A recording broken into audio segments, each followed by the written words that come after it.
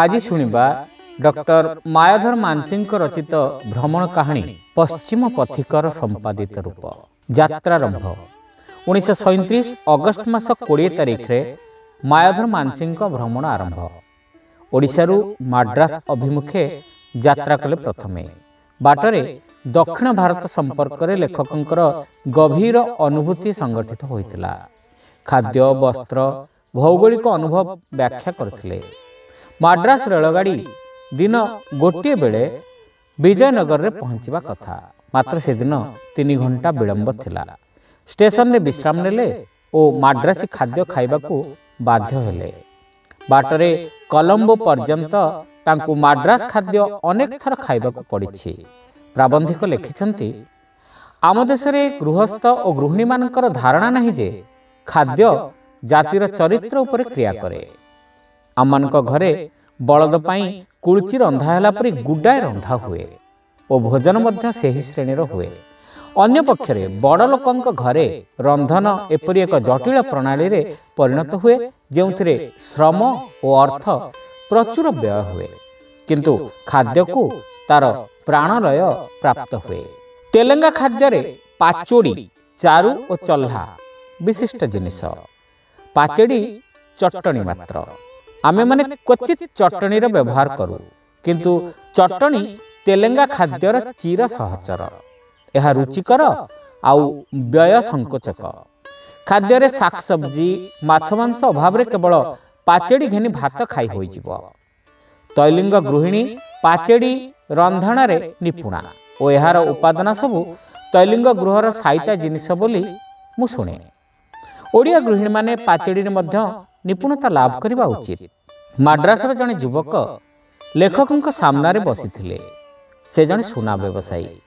ଆଉ ଜଣେ ବୃଦ୍ଧ ଲୋକ ବସିଥାନ୍ତି। ସେ ପେନ୍ସନ୍ ପାଉଛନ୍ତି। ଟ୍ରେନ୍ରେ ଇଞ୍ଜିନ୍ ଡ୍ରାଇଭର ଥିଲେ। ସେମାନେ ସେମାନଙ୍କର ଅଭିଜ୍ଞତା କହୁଥିଲେ। ସେମାନଙ୍କ ଭିତରେ ଲେଖକ ଅନୁଭୂତି ସଂଗ୍ରହ କରୁଥିଲେ।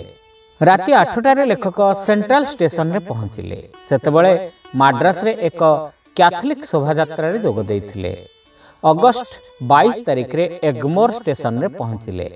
କରମଣ୍ଡଳ ବେଳାର ପ୍ରାକୃତିକ ଶୋଭା ଲେଖକଙ୍କୁ ବିମୋହିତ କରିଥିଲା। ଲେଖକଙ୍କ ଭାଷାରେ ଦିଗନ୍ତ ବ୍ୟାପୀ ଶସ୍ୟ ଶ୍ୟାମଳ ସମତଳ।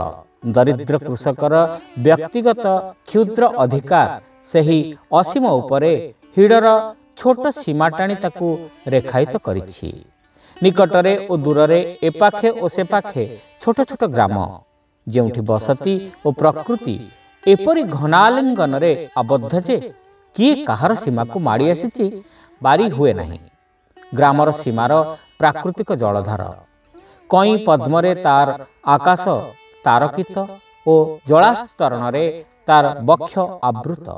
ଜଳାଧାର ଚକିତ ନୟନା ସୀମନ୍ତିନୀ ଗଣ ବିଲରେ କର୍ଷଣରତ କୃଷିଜୀବୀ। ମାଟି ଉପରେ ତାର ଆଖି ସେ ଆଖି କେବଳ ସେଇ ମାଟି ସେଇ ବଳଦ ଓ ସେଇ ମାଟିର ଶସ୍ୟ ସଙ୍ଗେ ପରିଚିତ। ଓଡ଼ିଶାର ସମତଳ ଦେଶରେ ଏହି ପରିଚିତ ଦୃଶ୍ୟ ସମଗ୍ର କରମଣ୍ଡଳ ପଥରେ ପୁନରାବୃତ୍ତି ହେଲା ମାତ୍ର।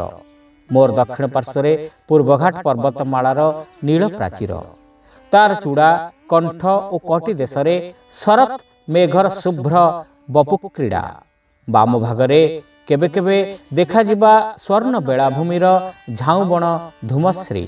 ଉଭୟ ପାର୍ଶ୍ୱରେ ନାରିକେଳ ଓ ତାଳର ଘଞ୍ଚ ସମାବେଶ। ଏହି ଦୃଶ୍ୟମାନଙ୍କ ମଧ୍ୟରେ ମୁଁ ସମଗ୍ର ମାଡ୍ରାସ ଅତିକ୍ରମ କଲି। ଉତ୍କଳ ଓ ବଙ୍ଗଳାର ତରଙ୍ଗାୟିତ ଧାନ୍ୟଶସ୍ୟ ପରିବର୍ତ୍ତେ ଏ ଅଞ୍ଚଳରେ ମାଣ୍ଡିଆର ଦଣ୍ଡାୟମାନ ଚେହେରା ଆଖିରେ ପଡ଼େ।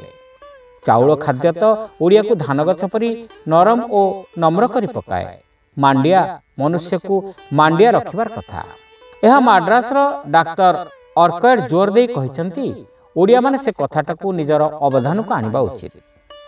ରାମଦାନ ଜିଲ୍ଲାର ରୁକ୍ଷ ମରୁଭୂମି ମଣ୍ଡପମ ଷ୍ଟେସନରେ ଗାଡ଼ି ପହଞ୍ଚିଲା। ତାପରେ ସିଲୋନ ଅଭିମୁଖେ ଯାତ୍ରା। ସେଠାରେ ଡାକ୍ତରୀ ପରୀକ୍ଷା କରାଯାଏ।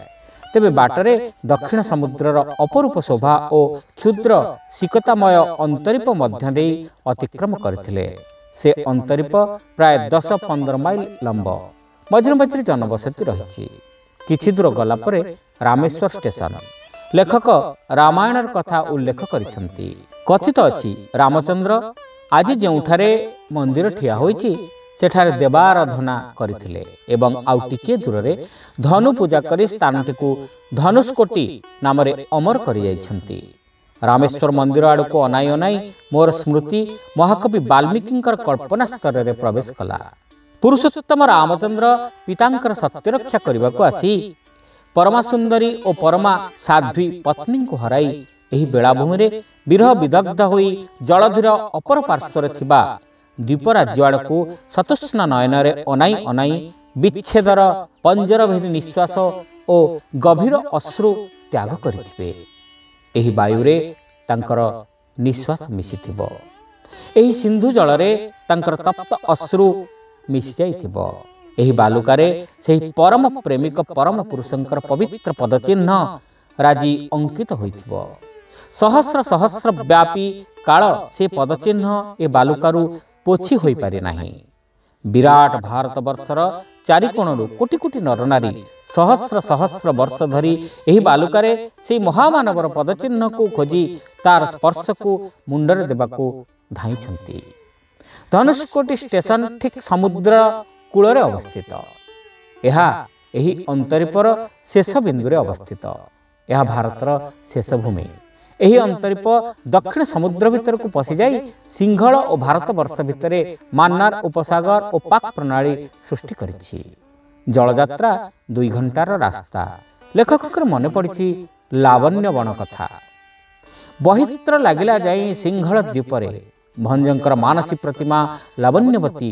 ରାଜକୁମାରୀ ନାୟକ ଚନ୍ଦ୍ରଭାନୁ ଲାବଣ୍ୟବତୀକି ପାଇବା ଲାଗି ଏହି ସିଂହଳ ଦ୍ୱୀପକୁ ବୋଇତରେ ବସି ଆସିଥିଲେ। ଚନ୍ଦ୍ରଭାନୁର ବୋଇତ ସିଂହଳ ଦ୍ୱୀପରେ ଲାଗିବା କଥା ପଢ଼ିଥିଲି କେବେ? ଆଜି ମୁଁ ସେହି ସିଂହଳ ଦ୍ୱୀପକୁ ଯାଉଛି। ମନ ମୋର ଆନନ୍ଦରେ କ୍ଷୁବ୍ଧ ହେବା ସ୍ୱାଭାବିକ। ସିଂହଳ ଦ୍ୱୀପ ସଙ୍ଗେ ପ୍ରାଚୀନ କଳିଙ୍ଗର ସାହିତ୍ୟିକ ସମ୍ବନ୍ଧ ଛଡ଼ା ଐତିହାସିକ ସମ୍ବନ୍ଧ ମଧ୍ୟ ରହିଛି। ଯେଉଁ ବିଜୟ ସିଂହ ଏହି ଦ୍ୱୀପ ଅଧିକାର କରି ଦ୍ୱୀପକୁ ନିଜ ନାମ ଦେଇ ଯାଇଛନ୍ତି ସେ କଳିଙ୍ଗର ରାଜକୁମାରୀଙ୍କୁ ବିବାହ କରିଥିଲେ।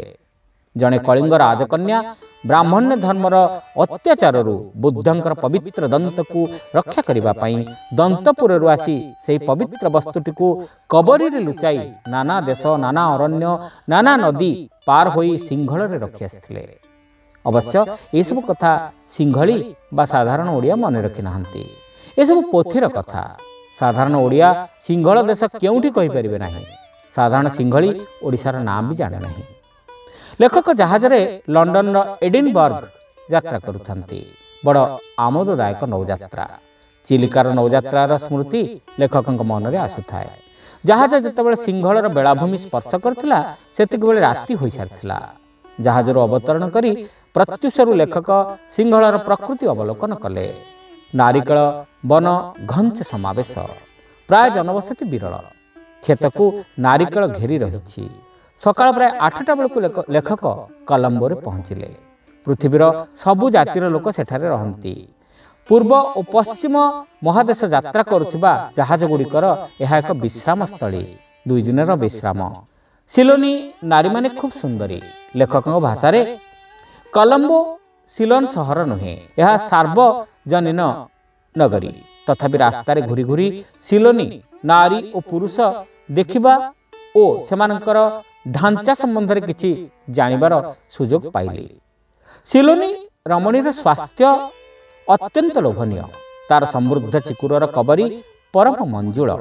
ସିଲୋନର ନାରୀ ଗୃହମୁକ୍ତା। ବାହାରର ମୁକ୍ତ ପବନ ମୁକ୍ତ ଆକାଶ ଓ ସ୍ୱଚ୍ଛନ୍ଦ ଶ୍ରମ ଓ ବିହାର ବୋଧହୁଏ ସିଲୋନି ନାରୀକୁ ନିଖୁଣ ସ୍ୱାସ୍ଥ୍ୟ ଦିଏ।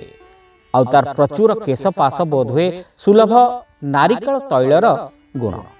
ବର୍ମା ସ୍ତ୍ରୀମାନଙ୍କ ପରି ସିଲୋନି ସୁନ୍ଦରୀ ତଳେ ଲୁଙ୍ଗି ଯାହାକୁ ସାରଙ୍ଗ କୁହାଯାଏ ଓ ଉପରେ ଜ୍ୟାକେଟ୍ ବ୍ୟବହାର କରେ। ମସ୍ତକ ମୁକ୍ତ ତାର ମଞ୍ଜୁଳ କେଶଜାଲ ମସ୍ତକର ଶ୍ରେଷ୍ଠ ଆବରଣ ଓ ଆଭରଣ। ଶିକ୍ଷିତା ସିଲୋନି ନାରୀମାନେ ବର୍ତ୍ତମାନ ଶାଢ଼ୀ ପିନ୍ଧିବା ଆରମ୍ଭ କରିଛନ୍ତି। ଭାରତୀୟ ଶାଢ଼ୀ ସିଲୋନି ସୁଲୋଚନାମାନଙ୍କର ପୁଞ୍ଜୀଭୂତ ରୂପ ସମ୍ପଦକୁ କିପରି ତରଙ୍ଗାୟିତ ଓ ଲାଳାୟିତ କରୁଛି ତାର ମୁଁ ଠାଏ ଠାଏ ଦେଖିଛି ସିଲୋନି ପୁରୁଷମାନେ ପ୍ରଶଂସାର ଯୋଗ୍ୟ ନୁହନ୍ତି। ସେମାନେ ସାହେବୀ ଅନୁକରଣରେ ପରିଣତ। ସିଲୋନିମାନଙ୍କର ନିଜର ସଂସ୍କୃତି ବିଶେଷ ନାହିଁ। ବ୍ରିଟିଶ ଶାସନରେ ସେମାନେ ସନ୍ତୁଷ୍ଟ। ଭାରତୀୟଙ୍କ ପରି ସେମାନେ ସଂସ୍କୃତି ପ୍ରବଣ ନୁହନ୍ତି। ବ୍ରିଟିଶ ଶାସନରେ ସିଲୋନର ଯାହା କିଛି ଉନ୍ନତ ହୋଇଛି। ସେଥିପାଇଁ ସିଲୋନୀମାନେ ଇଂରେଜମାନଙ୍କ ନିକଟରେ କୃତଜ୍ଞ। ରବର ନାରିକେଳ ଚା ଉତ୍ପାଦନ କରି ସେମାନେ ରୋଜଗାର କରନ୍ତି। ସିଲୋନରେ ବହୁତ ଭାରତୀୟ ଅଛନ୍ତି। ସିଂହଳୀମାନେ ସିଂହଳକୁ ଲଙ୍କା କହନ୍ତି। ମହାରାଜ ଅଶୋକଙ୍କର ପ୍ରିୟ ପୁତ୍ର ମହେନ୍ଦ୍ର ଓ ପ୍ରିୟ କନ୍ୟା ସଂଘମିତ୍ରା ଏହି ଲଙ୍କା ଦ୍ୱୀପରେ ବୌଦ୍ଧ ଧର୍ମର ପ୍ରଚାର ପାଇଁ ରାଜପ୍ରାସାଦର ସମସ୍ତ ସୁଖ ଓ ରାଜାରାଣୀ ହେବାର ସ୍ୱପ୍ନ ପରିତ୍ୟାଗ କରି ଏହି ଦ୍ୱୀପର ଗିରି ଗୁହାମାନଙ୍କରେ ରୁକ୍ଷ ହରିଦ୍ରାବ୍ରସ୍ତ୍ର ଓ ଭିକ୍ଷାଲବ୍ଧ ଅନ୍ନରେ ଶେଷ ଜୀବନ କଟାଇଥିଲେ। ସେମାନଙ୍କର ସ୍ମୃତି ସିଲୋନରେ ଏଯାଏଁ ଜୀବନ୍ତ ରହିଛି।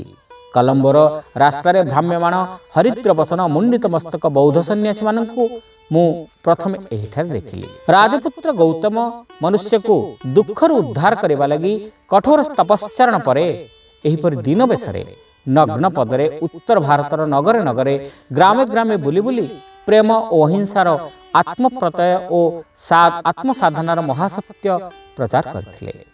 ହତଭାଗ୍ୟ ଭାରତବର୍ଷ ସେ ସତ୍ୟକୁ ପଶୁବଳି ଜାତିଭେଦ କୁସଂସ୍କାର ଓ କାଳ୍ପନିକ ଦେବତାମାନଙ୍କର ଆଡ଼ମ୍ବର ଆରାଧନାରେ ଦେଶରୁ ଚିରକାଳ ପାଇଁ ବାହାର କରିଦେଇଛି। ହରିଦ୍ରବସନ ମୁଣ୍ଡିତ ମସ୍ତକ ଏହି ସନ୍ନ୍ୟାସୀମାନେ ସାକ୍ଷ୍ୟ ସିଂହଙ୍କର ସେହି ସତ୍ୟାଲୋକକୁ ଅନ୍ୟ ଦେଶରେ ଏପର୍ଯ୍ୟନ୍ତ ପ୍ରଜ୍ୱଳିତ କରି ରଖିଛନ୍ତି। ସେଥିଲାଗି କଲମ୍ବୋର ରାସ୍ତାରେ ଠିଆ ହୋଇ ଏହି ସନ୍ନ୍ୟାସୀମାନଙ୍କର ଯିବା ଆସିବା ପରମ କୌତୁହଳରେ ମୁଁ ବାରମ୍ବାର ନିରୀକ୍ଷଣ କରିଥିଲି।